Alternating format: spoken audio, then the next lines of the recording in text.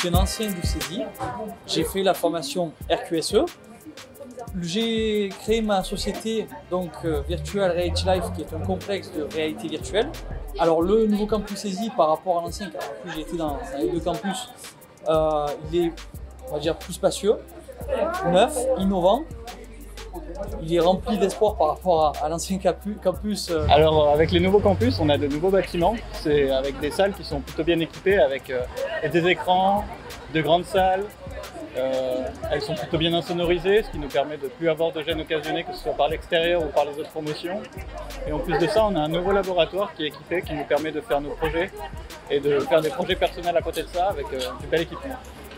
Alors concernant l'ambiance, j'ai trouvé que c'était très convivial. J'ai pu échanger avec euh, de futurs apprenants et des futurs camarades de classe. Donc euh, l'ambiance générale, euh, honnêtement, euh, c'est parfait. L'aspect technologique, franchement, c'est le truc le plus important parce que là, avec tous les écrans, les grands écrans haute définition qu'on a dans les salles, on peut se diviser en îlots pour les travails de groupe et ça, c'est super important. Euh, on a pu échanger avec euh, différentes camarades. Voilà, c'est- c'était vraiment très très bien. c'est que c'est un campus qui est vraiment noyé dans un tissu économique avec euh, pas mal d'entreprises situées à Aix, à Aix-les-Mines. On est bah, au cœur de l'activité et on- ça nous permet d'avoir de meilleures interactions avec, euh, bah, avec ces dernières, avec nos alternants, avec l'école ingénieur et les salariés. Voilà, donc j'en pense que du bien.